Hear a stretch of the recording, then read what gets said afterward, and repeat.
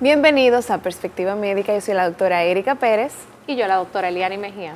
Y como cada semana tenemos un tema súper interesante para compartir con ustedes. Quédense ahí.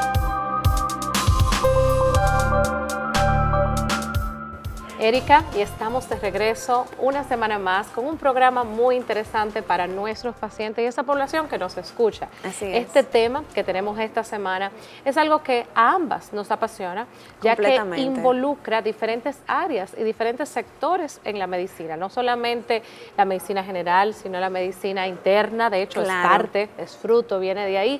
También la nutrición es esencial y estas enfermedades tienen manifestaciones multisistémicas, quiere decir que pueden afectar todos los sistemas del cuerpo, ya sea el sistema nervioso, el, sistema cardiovascular, eh, el sistema inmune, articular. y, fíjate que yo creo que eran llamadas raras. No sé si muchas de ellas todavía están dentro de este grupo de enfermedades raras porque no son tan comunes, aunque ahora las estamos escuchando mucho más. Eh, llegan más a nuestros oídos pacientes, amigos, familiares con algún tipo de esta enfermedad, que son esas enfermedades inmunológicas o que autoinmunes. afectan autoinmunes. Y es muy importante yo decirte que la invitada que tenemos, yo la admiro desde hace mucho tiempo. Desde que yo eh, me gradué de la medicina, cuando empezaba yo mi pasantía, eh, pues con el equipo con el que me desarrollaba, tendían a referirla regularmente a estos pacientes con estas condiciones y decían, wow, la verdad es que no hay tal vez una población muy grande de estos médicos. Así, es, así, como en tu especialidad de la electrofisiología no hay tantos cardiólogos, electrofisiólogos, yo creo que no hay tantos reumatólogos. Es cierto. Y, es un verdadero lujo para nosotros poder contar con esta expertise en estas áreas de enfermedad que son desconocidas para la mayoría y cuyo manejo nosotros necesitamos que sea bien protocolizado. Un manejo fino, incisivo, y para eso es este programa. Eh, esta semana vamos a hablar sobre las enfermedades autoinmunes con una invitada muy especial, como dice Erika, alguien quien yo también he compartido mucho a través de nuestros pacientes. Así que quédense con nosotros para este programa que viene muy bien preparado para ustedes.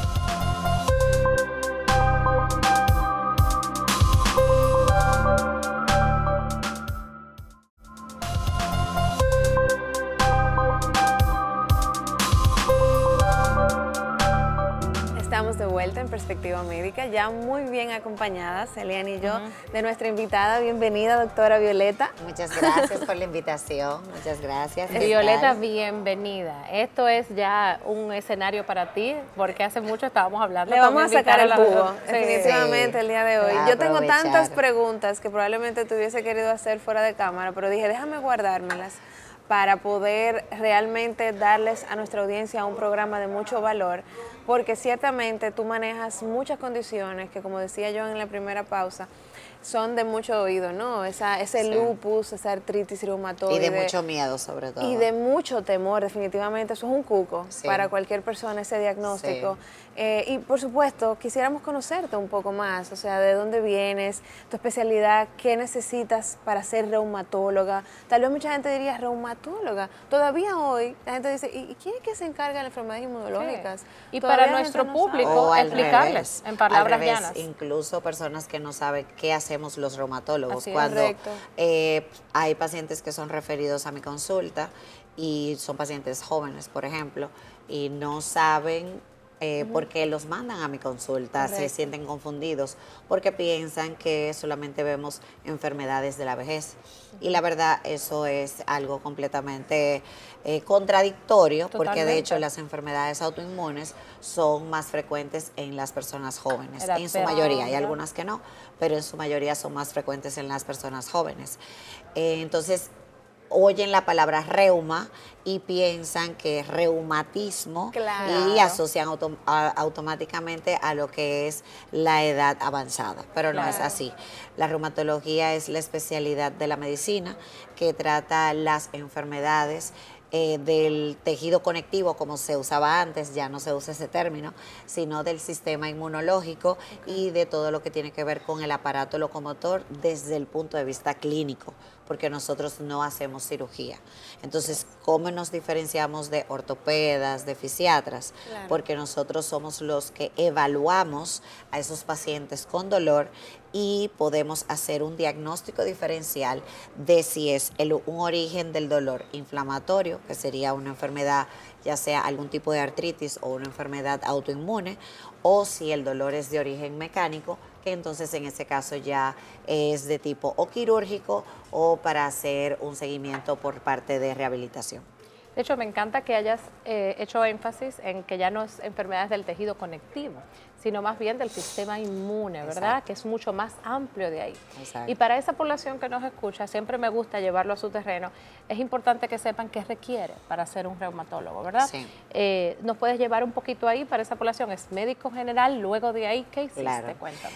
Eh, uno tiene que graduarse de medicina general. Yo la hice en INTEC, aquí en el país, y luego hay que hacer una especialidad en reumatología o entrar por medicina interna para luego entonces hacer reumatología. Eso va, eso va a depender de dónde eh, la persona realice la especialidad, porque por ejemplo yo la hice en España, en el Hospital Clinic de Barcelona, y uno accede directamente a la especialidad de reumatología y la parte de medicina interna ya se ve dentro, de, la, especialidad, exactamente. Pero, en Estados Unidos y aquí hay que hacer un año o dos o tres, dependiendo, de medicina interna y luego entonces hacer la parte de reumatología, como si fuera una subespecialidad. Definitivamente. qué interesante. Doctora, y para poder ampliar un poquito, enfermedad del sistema inmune, esto es como que un mundo de posibilidades. Empecemos listando las más frecuentes que usted ve en su consulta y por supuesto cómo normalmente empieza este problema. O sea, eh, yo sé que cada una de las enfermedades inmunológicas tiene una presentación muy distinta. Hoy tenemos 2024, 2025 mucha más información que cuando empezaste tu especialidad y cuando estudiaste. Yo también soy de INTEC. Y yo me acuerdo muy bien que en aquella época hablar de microbiota intestinal no era como ahora. Entonces, me imagino que eh, eh, ha cambiado mucho la narrativa, la conversación alrededor de enfermedades inmunológicas y reumatología. Y bueno, quisiéramos darnos esta introducción importante para que la población se entere realmente de qué se trata. Mira, la reumatología es una de las especialidades que ha avanzado más en los últimos años, como ha pasado con la oncología. En, general todas, ¿verdad?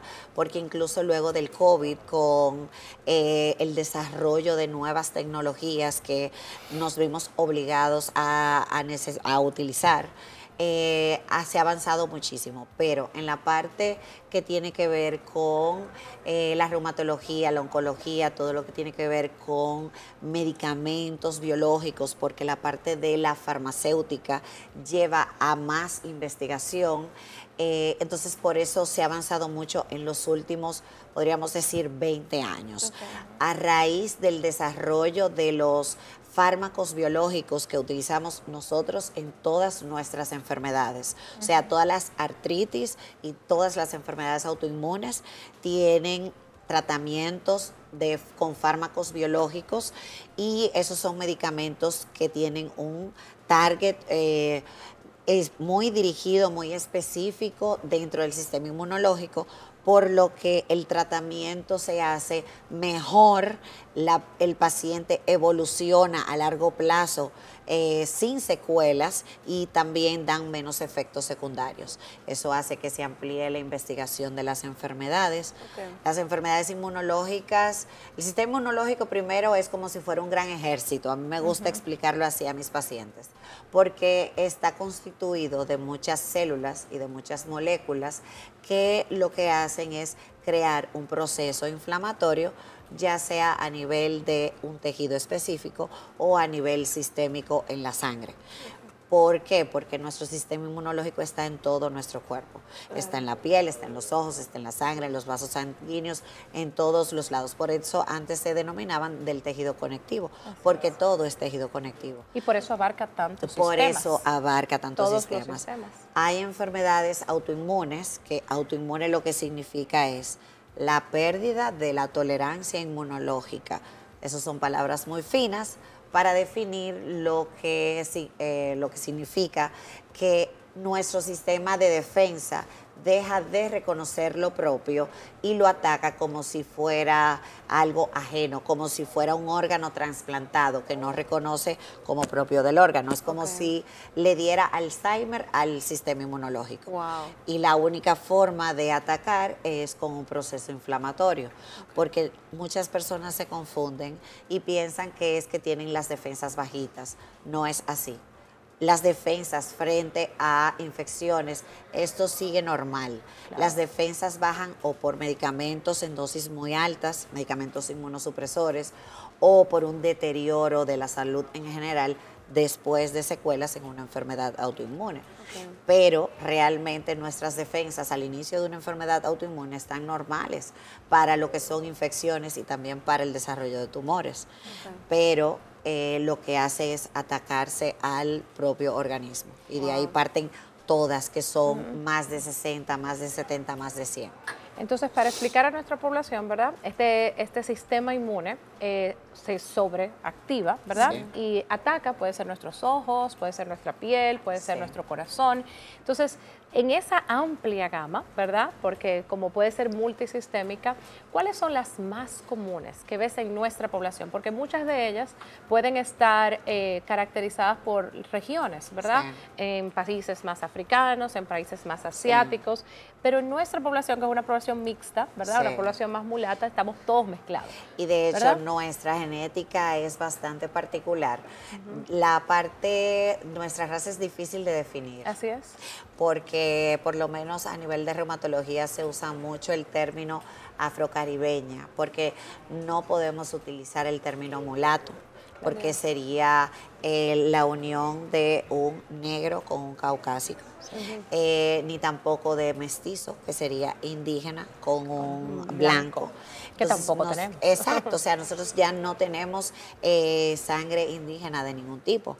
Estamos demasiado mezclados y tenemos unas particularidades de que la frecuencia que está definida a nivel de la bibliografía general, que muchas son bastante antiguas, es muy diferente a lo que se ve a nivel de el Caribe en general y en República Dominicana, que somos realmente el país dominante en lo que es el desarrollo de esta especialidad. Wow. Eh, por lo, todo lo que tiene que ver con el avance eh, científico, por el acceso que tenemos a medicamentos, por el acceso que tenemos a, medios de diagnósticos y también a la cantidad de especialistas que, hay en el país, porque aunque somos pocos, ya somos más. Cuando yo llegué al país en el 2013 de Barcelona éramos 14. Y ahora mismo somos unos 53 aproximadamente, porque hay dos residencias médicas en el Cabral Ibáez en Santiago y en el Hospital Padre Villini aquí en la capital. Entonces, por eso hemos crecido más rápido en los últimos años. Y eso es fundamental, porque cuando hablamos de este tipo de enfermedades, hablamos de ese índice de sospecha, ¿verdad? Sí. De esa necesidad de indagar no solamente de dónde vienes, de tu raza, de tu genética, ¿verdad? O sea, que todo influye y es esencial poder educar, ¿verdad? Y tener también las posibilidades de hacer crecer esa especialidad. Entonces, volviendo otra vez ahí, ¿cuáles son las más comunes que ves acá? Sí, si me dijiste que eran como más de 60 y me quieres hacer un top, 10 un top 5. Eso va, eso va a depender de desde qué punto de vista estamos viendo las enfermedades.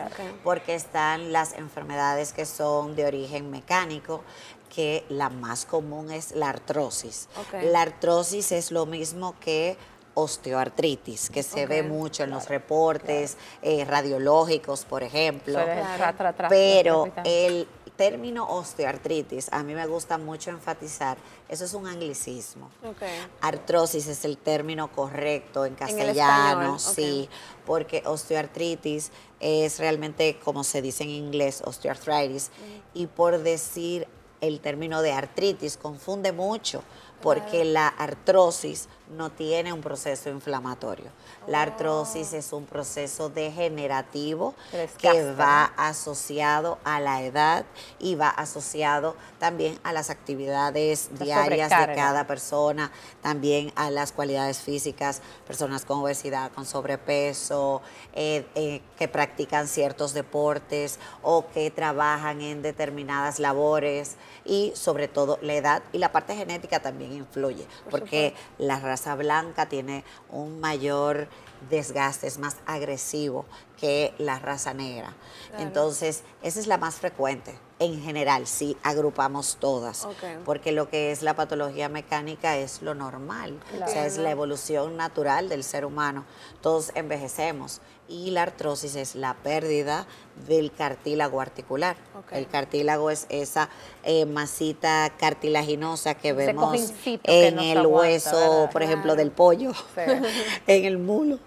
Eh, ese cartílago es el que se gasta por el uso y por el peso. Entonces, lo que más eh, frecuentemente vemos eh, de articulaciones que son afectadas por artrosis son las del cuello, que es la columna cervical, la cabeza pesa mucho y se mueve mucho, las manos, porque las manos la utilizamos para todo, los hombros es muy frecuente porque todo lo que cargan las manos lo hacemos con los hombros. Eh, las caderas, rodillas son y la columna lumbar, que también es eh, bastante frecuente. Te voy a detener ahí para que hagamos la primera pausa y volvemos en breve en Perspectiva Médica para seguir hablando de todas estas condiciones.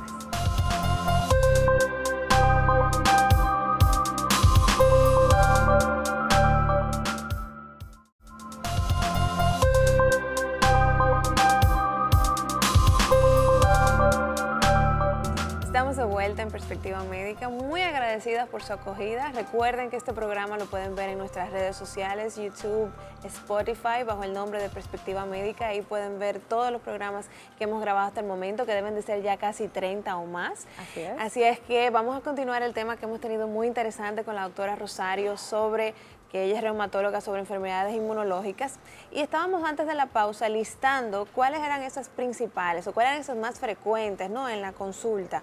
Hablaban de artrosis, me encantó que la diferenciaste de osteoartritis, porque, porque son conceptos que cuando ahora te dicen cada todo lo que termina en itis es, inflamación. Entonces, eso ayuda mucho a que el paciente comprenda un poco más su condición. Claro. Te dejo la continuidad en el tema. Entonces es muy importante hacer esa diferenciación, ¿no? Porque lo degenerativo le pasa a todo el mundo. Lo que va a ser diferente es la gravedad. Exacto. Y la gravedad de ese proceso degenerativo o la disminución en la calidad de vida o la cantidad de dolor o la incapacidad que genera. Pero luego entramos a la parte de las inflamatorias y autoinmunes, que ahí están todas estas que son muy temidas, como el lupus, que es una de las más frecuentes que veo en la consulta, la artritis reumatoide, que es también una enfermedad bastante frecuente, está las espondiloartritis, que son una familia de artritis que afectan la columna, porque no todas las artritis pueden afectar la columna. Dentro de estas está la espondilitis anquilosante. Cada vez van saliendo términos más raros, pero todas son generadas desde una predisposición genética que afecta el sistema inmunológico y lo vuelve muy agresivo en contra del propio organismo. Dependiendo de dónde se encuentra la mutación, entonces va a partir de ahí eh, formarse anticuerpos específicos en muchos casos. En otros no los podemos detectar, sino que son predisposiciones, genes muy específicos que no se hacen eh, normalmente a nivel clínico, sino para investigación, eh, pero que cada uno de ellos hace que se derive hacia una enfermedad u otra. Decías que no se parecen y realmente depende de la familia que sea de las enfermedades, eh, se van a aparecer o no. Porque, por ejemplo, dentro de, las dentro de la familia de las autoinmunes puras, como son la artritis reumatoide, el lupus eritematoso sistémico, que puede afectar la piel, eh, o puede no afectar la piel, no siempre tienen los mismos síntomas. Por hay un gran abanico de presentación dentro de la misma. Eh, a veces son difíciles de hacer el diagnóstico por el parecido que tienen el síndrome de Sjögren, el síndrome antifosfolípido, que incluso luego del COVID hemos visto a nivel mundial un incremento de los casos de lupus y de síndrome antifosfolípido, sobre todo Em, no por la vacuna, que es lo que todo el mundo se ha imaginado, sino por el mismo virus. La infección. El, mismo, eh, lo agresivo que es el virus para el sistema inmunológico, lo deja, vamos a decir, muy activado. ¿No pasó eso igual con el chikungunya? En sí, la sí pasó, pero sobre todo del lado de la artritis reumatoide. Claro. Entonces con el COVID fue como el COVID genera eh, una Generó cantidad, claro. De hecho, habían dos manifestaciones eh, principales en el primer año del COVID, cuando el COVID era súper agresivo, que no teníamos tratamiento, que era una manifestación que era eh, muy de la coagulación, que era eh, muy protrombótico. O síndrome inflamatorio O el otro, que era el síndrome multiinflamatorio, que se compraba, uno se comportaba como una enfermedad de estilo del adulto o una artritis idiopática juvenil sistémica, son la misma enfermedad en adultos y niños, o la parte protrombótica se comportaba igualito que un síndrome antifosfolípido. Mira, me encanta que hagas ese énfasis porque tú sabes que la población que nos escucha siempre hay muchas cosas, escuchan cosas por ahí, que alguien le dijo tal cosa, y es importante enfatizar eso. Estas enfermedades autoinmunes son enfermedades que activan o de una forma eh, ya la genética, historia familiar, tu sistema inmune y lo confunde. Entonces es muy común esto, que cualquier proceso infeccioso, y, eso lo conocemos hace mucho, y el COVID siendo... exacto, totalmente. Y el COVID siendo una enfermedad que nos afectó a tantos, ¿verdad? Pues puede hacer esa cross reactividad y confundir tu propio sistema. O sea que no fue la vacuna, ¿verdad? Sino más bien ese estímulo, sobreestimulación que nos dio una enfermedad inflamatoria. O sea que esto es importante para que la población lo sepa y no todos se lo echemos a la Que de hecho se han descubierto bacterias, por ejemplo, que tenemos en la boca, que tienen una relación con personas que tienen una genética predispuesta a desarrollar artritis reumatoide. Eh, también todo el tema de la microbiota intestinal ahora está eh, con mucho auge porque se ha visto la relación de la, del microbioma eh, con muchísimas cosas y sobre todo en enfermedades autoinmunes. Se ha incluso realizado tratamiento a partir de trasplante de esos fetales. Sí, hablábamos de eso hace unas semanas atrás. Y ya hace tiempo que en reumatología se está discutiendo eso. O sea, eh, yo me acuerdo... Pero es que el efecto es muy a corto plazo en la mayoría del trasplante, pero es una realidad y siempre lo habíamos escuchado, que lo que tú comes va a tener una influencia en tu salud. Totalmente. Lo que le hemos podido es evidenciar, ponerle a eso un nombre y apellido, encontrar formas de medirlo claro, pero, forma. pero por ejemplo la epigenética, que son esas mutaciones que tenemos a partir de esas alteraciones del microbioma por los hábitos alimenticios, claro. Eh, tiene mucho que ver con esas mutaciones. Yo siempre les explico a mis pacientes, porque siempre tienen el temor, ¿son hereditarias? Bueno, no es lo mismo que sea hereditaria una enfermedad a que tenga una predisposición genética porque a veces sí se heredan y uno lo ve claramente en familias que el papá, el abuelo, la tía, se ve mucho eso con la psoriasis, por ejemplo, o artritis psoriásica, se combina, el Hashimoto, es súper frecuente, pero por ejemplo el Hashimoto es específico de un órgano y lo trata el endocrinólogo. Nosotros tratamos las que son más generales, las sistémicas, pero eh, sí se ve eh, con mucha frecuencia realmente que la gente piensa que es que solamente se hereda. de padre a hijo. Pero la que verdad no tengo nada que hacer para, para, seguir ese patrón, ¿no? Para repetir esas conductas. Y ahí es donde está la parte de epigenética. Siempre yo le he dicho, es verdad que heredamos los hábitos y hay muchos genes, principalmente en el cáncer de mama, que no importa lo que hagas, verdaderamente son como transmitidos pero no está sentenciado a repetir esta es la teoría del double hit, ¿verdad? Necesitas dos estímulos. Obviamente, eso pasa en la parte de las mutaciones eh, oncológicas, pero también en ciertos aspectos de nosotros, igual en la parte inmunológica, porque tienes esa predisposición, pero también el factor medioambiental puede acelerar o no un proceso. Claro. Y vamos a irnos un poquito más al terreno de nuestros pacientes, ¿verdad? Vamos a irnos, ese paciente que dice, no me siento bien o me siento muy cansado o algo está pasando, eh, me duele las manos, uh, me siento rígida en las mañanas. ¿Cuáles son esos síntomas que debe alertar a nuestra población a investigar un poquito más? Mira, eh, son síntomas muy generales, de hecho, y por eso antes se veía que las personas duraban mucho tiempo en acudir al reumatólogo, porque la fatiga, los dolores articulares y musculares, fiebre sin tener una infección, eh, malestar general, de sentirse enfermo. Yo siempre les explico a mis pacientes, se siente como si tuviera una gripe mala, pero la gripe no le da. Eh, entonces es difícil que una persona vaya al reumatólogo por esos síntomas generales, porque eso la verdad es que muchas enfermedades lo pueden eh, manifestar. exactamente. Lo que es importante es el awareness de el, es una posibilidad. Claro y sobre todo del cuerpo médico. Claro. porque nosotros nuestros pacientes la mayoría son referidos por otro especialista claro, de la que ya hizo su descarte. Exactamente. Claro, ya fui al neumólogo. Que tiene la sospecha, que ve alguna alteración, que pide un ANA. Yo te iba a decir que ya todo el mundo te pide en el laboratorio, hazme el, perfil inmunológico. Sí. Y es interesante que todavía tengas el ANA negativo, podrías tener lupus, todavía tengas el ANA positivo, podrías no tener lupus. O sea que.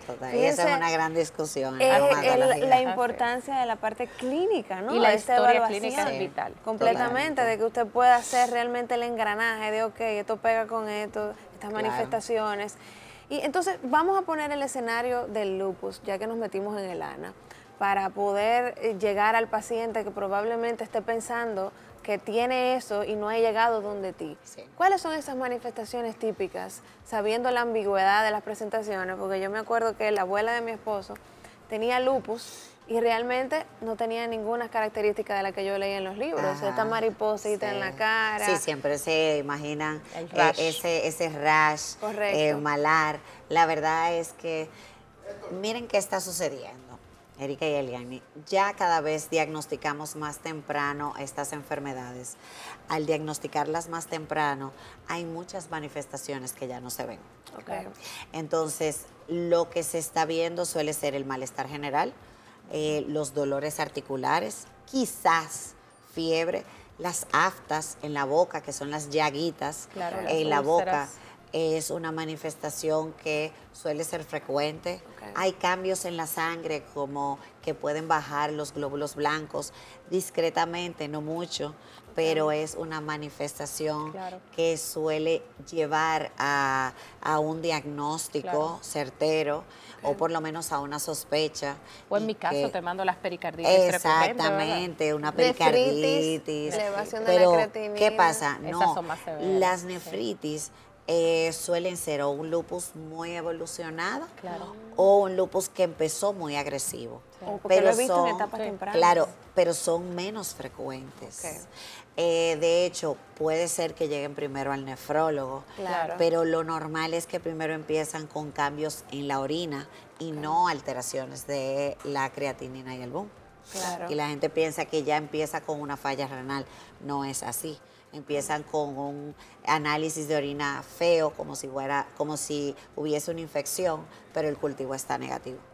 Eso es cuando hay una posibilidad de una nefritis. Claro. Pero el ANA, que es lo que me preguntabas, el ANA, el famoso ANA.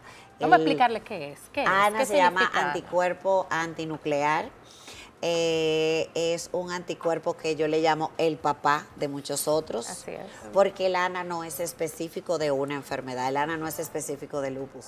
El ANA está como, vamos a decir, eh, es de donde parten los otros marcadores, que son autoanticuerpos específicos de las enfermedades.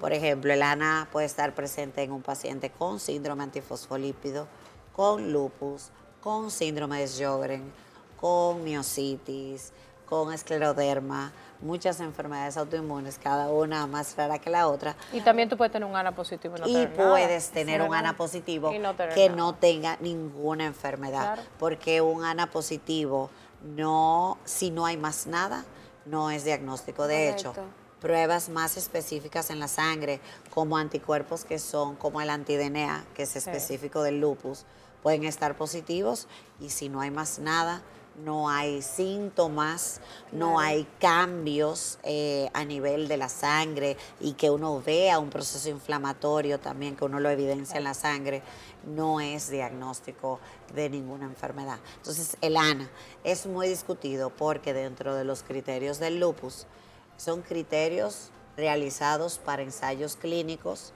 para poder tener una población más homogénea y que con esto se puedan hacer pruebas para desarrollar medicamentos. Pero esa no es la realidad del día a día de la vida. O sea, no somos un ensayo clínico. Hay una variedad muy grande de pacientes. Entonces, eso hace que yo puedo tener un paciente con lupus con ANA negativo. si tengo la suficiente cantidad de criterios, eh, tanto de síntomas clínicos como de alteraciones a nivel de la sangre y de los estudios o una biopsia de riñón específica. Que le da muchos cortocircuitos a un paciente, se ha diagnosticado con una enfermedad cuando el marcador típico no está positivo y una enfermedad que tiende a ser crónica para toda la vida. Y muchas cuestiones. Tenemos que irnos a una próxima pausa. Ya yo sé, Violeta, que tú vas a tener que volver al programa. Nos queda un próximo bloque, pero la verdad es que es el tema más interesante que yo puedo pensar, discutir en estos próximos minutos. Señores, no se muevan de ahí. Volvemos en breve.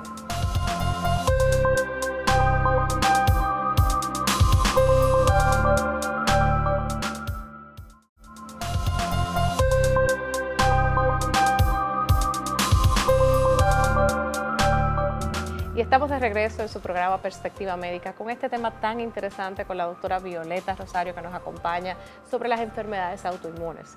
Hablábamos en el bloque anterior sobre el lupus, uno de los más comunes inflamatorios y multisistémicos, y hablamos de estas manifestaciones que nos dan, que pueden ser muy vagas, que pueden ser muy no específicas, y hay que tener un alto índice de sospecha. Hablabas también de algunos marcadores importantes, entre ellos el ANA, ¿verdad? Que es uno, es como un screening, pero no es muy específico, pero nos ayuda a tener una idea. Y algo que me encantó es que hablabas muy importantemente sobre la importancia de la clínica. Sí, a mí me encantó. De la historia clínica. O sea, estas enfermedades es vital, un conversatorio con el paciente. Totalmente. Una historia totalmente, una historia familiar completa. Y no solamente la historia del paciente, tú empiezas desde cuéntame, cuando eras niño, ¿qué pasó? Háblame un poquito de esta interrogatoria y la importancia de esa primera valoración. De hecho, eso cuando eh, uno está en la universidad, que es la parte de la semiología clínica. Me encanta, ¿verdad? Que la historia clínica, que la importancia, me acuerdo que cuando uno rotaba al inicio en los hospitales, esa cómo hacer una historia clínica, en reumatología es sumamente importante. De hecho, yo mis consultas son mínimo de una hora. O sea, son programadas eh, siempre con día con hora y son mínimo de una hora. Y sé cuándo empiezan, pero no sé cuándo terminan. A veces los pacientes se desesperan porque tengo que tardarme, pero cada paciente es diferente y la, cada historia es completamente diferente. Y uno tiene que individualizar mucho cuando uno está haciendo una evaluación y también cuando uno está haciendo un diagnóstico, porque depende de muchos factores. Hay síntomas que no podemos valorar de forma objetiva como es el dolor. Entonces, yo puedo tener una artritis en una persona que tiene un umbral del dolor donde no va a tener dolor a pesar de tener inflamación articular. Entonces, eh, hay cosas que pueden variar de persona a persona. Lo que hablábamos del rash malar, eso no es tan frecuente necesariamente en el sistémico, en lupus eritematoso sistémico. Eh, a veces empieza solo cutáneo y en esos casos sí las lesiones cutáneas son importantes, pero no son lo único. Lo del riñón no es tan frecuente como se piensa. Las manifestaciones articulares, las manifestaciones generales del malestar general es mucho más frecuente y probablemente por el hecho de que estamos haciendo diagnósticos mucho más tempranos. Y por eso los criterios van cambiando, porque los criterios cambian para poder detectar los pacientes más temprano y en una mayor cantidad. Tienen más sensibilidad, aparte de que eh, tratamos de que siempre sean eh, más específicos. Pero antes se diagnosticaban este tipo de enfermedades muy tarde. Por ejemplo, la artritis reumatoide se necesitaba tener deformidades. Despiación. Exacto, para poder hacer un, que la artritis sea en los en simétricas, o sea, en las dos, eh, de los dos lados. Con Eso no es así. Una artritis que inicia en menos de un año es difícil que vaya a tener deformidad, por ejemplo. Es que incluso para meternos en ese tema del diagnóstico, eh, antes hacer un perfil inmunológico era tomar una muestra, mandarla fuera del país. Ya muy difícil. Ya nosotros tenemos en nuestro país disponible. Entonces, si me llevo ahora a tu consulta, tus herramientas diagnósticas, ¿qué incluyen? Además de una valoración en sangre, de una valoración física, ¿de qué otras herramientas tú te apoyas para hacer diagnósticos completos? Mira, la, incluso la exploración física en algunos casos no me aporta mucho porque por eso se llaman enfermedades invisibles. Hay muchas enfermedades autoinmunes que cuando yo evalúo al paciente físicamente... Está perfecto. Está perfecto. Pero eso no significa que los análisis de sangre y las pruebas de imagen estén perfectas. Por eso, por ejemplo, cuando las artritis están iniciando, ya se habla de sinovitis, que es inflamación de la membrana de la articulación, que es lo que da la artritis, eh, subclínica, que no se ve en la exploración física, pero ya en las imágenes como resonancia magnética o una sonografía musculoesquelética, sí se puede detectar. Entonces, por ejemplo, el equipo de sonografía es una herramienta que ayuda bastante porque rápidamente uno puede ver la inflamación de la membrana sinovial o uno puede ver la inflamación de la zona donde se pega el tendón al hueso, que eso es muy típico en las espondiloartritis o en la artritis psoriásica, que aquí hay mucha artritis psoriásica, porque aquí hay mucha psoriasis en el país y se relaciona con la enfermedad de Crohn, que también hay mucha enfermedad de Crohn. O sea, van muy de la mano, son de la misma familia.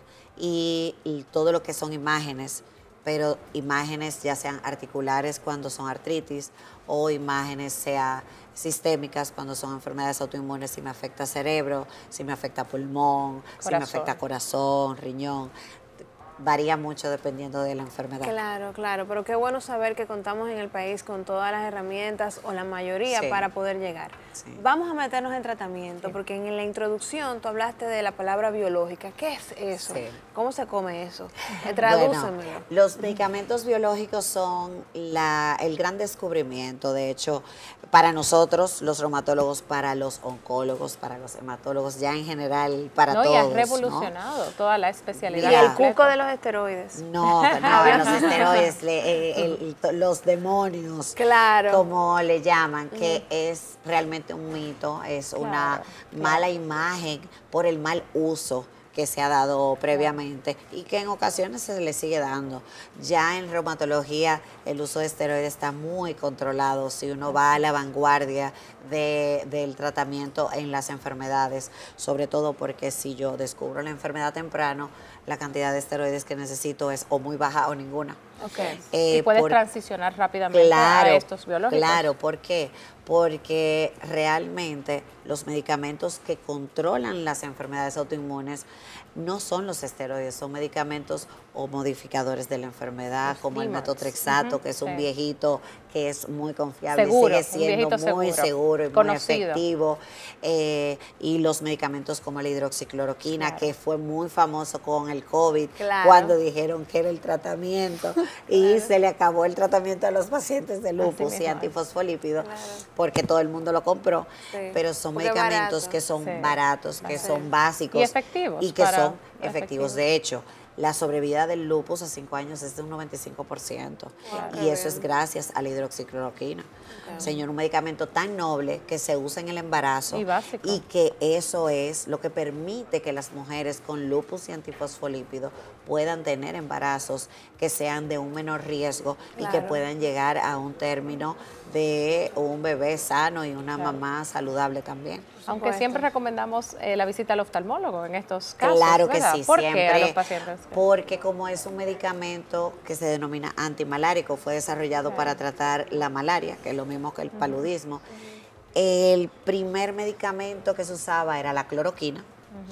Y este medicamento daba daño, bueno, hacía un depósito de pigmento a nivel de la retina, que es la parte más posterior del ojo, y esto afectaba el centro de la visión. Y las personas tenían problemas visuales por muchos años de tratamiento. Pero con el desarrollo de la hidroxicloroquina, esta nueva molécula, el riesgo de afección de la retina es muy bajo y lo que hacemos es un control oftalmológico cada seis meses o cada año y los estudios de cohortes de años y años de evolución de pacientes de lupus que se hacen en Inglaterra, en Europa, en Estados Unidos, pero sobre todo a nivel europeo que tienen mucho desarrollo de estas enfermedades eh, o del seguimiento de estas enfermedades, se ve que es muy bajo el porcentaje de pacientes que desarrollan eh, algún problema de visión o arritmias por el uso de la hidroxicloroquina. O combinación con otras Exacto, porque realmente las arritmias se ve con dosis altas y las dosis que nosotros utilizamos normalmente son de 400 miligramos para abajo, que son unas dosis que no se ven asociadas con que de hecho usaron mucho esas dosis altas en el COVID. Por eso habían tantas, por eso habían tantas arritmias y con la asociación con la citromicina. Definitivamente. Y, una pregunta que cualquier paciente te hace antes de que eso no vaya a acabar el tiempo. ¿Las enfermedades inmunológicas se curan? O sea, yo realmente puedo llegar a ese momento donde con el manejo pues ya, porque. Y es una pregunta obligada. es una pregunta obligatoria. Porque y vivir con esto, Sí, porque como que la gente ya como que se acostumbró al antihipertensivo. Sí, exacto. Se acostumbró al medicamento para la, diabetes. Correcto, lo aceptaron, pero, estos fármacos. Esos medicamentos tan raros que me ponen, como y caros, doctora.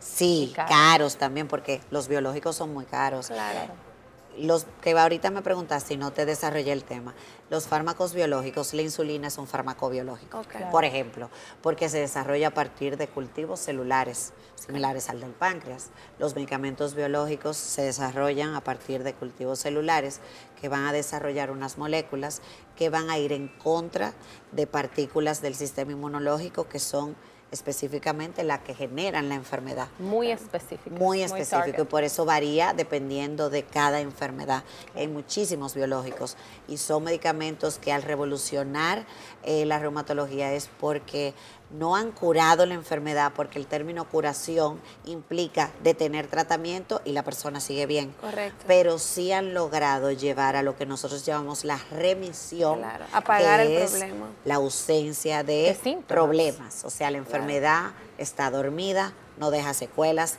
no crea un daño, no es catastrófica, no lleva a la muerte, no incapacita. Correcto. Y eso en todas las enfermedades reumatológicas ya se ha logrado con el desarrollo de estos medicamentos y también medicamentos inmunosupresores que han ido saliendo. Y el manejo multidisciplinario, ¿verdad? Porque tenemos que reconocer que las recaídas van a venir diferentes órganos. Y sobre todo, nosotros los reumatólogos, que se supone que somos todólogos, realmente tenemos que respetar a los eh, otros especialistas. Por ejemplo, la enfermedad cardiovascular ahora se ha relacionado muchísimo con las enfermedades inflamatorias porque se ha visto que ese proceso inflamatorio, cuando no se controla, lo que más afecta es el sistema cardiovascular. ¿No? y ahí es donde tú y yo conectamos muchísimo con todos nuestros pacientes. Exactamente. Violeta, qué bonito tenerte aquí y qué tema tan hermoso poder compartir y disecar un tema tan complejo como es las alteraciones de nuestro sistema inmune y las enfermedades autoinmunes. Qué bueno saber que tenemos muchos especialistas aquí en nuestro país y que son asequibles, porque realmente tenemos la disponibilidad para un diagnóstico temprano y se ha cambiado lo que es la historia natural de estas enfermedades con buenos medicamentos. Violeta, muchas gracias por acompañarnos. Y si quieres dar un mensaje final cortito para nuestra población que nos observa. Sobre todo que no tengan tanto miedo. Son enfermedades que ya tienen un manejo muy específico y un pronóstico muy bueno cuando se hace un diagnóstico certero y un tratamiento también eh, que sea bien llevado. O sea que lo más importante es que acudan al especialista cuando hay alguna sospecha, aunque sea por evaluarse y descartar, porque la verdad es que el problema es cuando la enfermedad ya tiene mucho tiempo y hay daño y por eso entonces ya queda algún tipo de incapacidad o secuela. Maravilloso. Muchísimas gracias por acompañarnos. Eternamente volverás. Y gracias a todos por su tiempo. Volvemos en la próxima.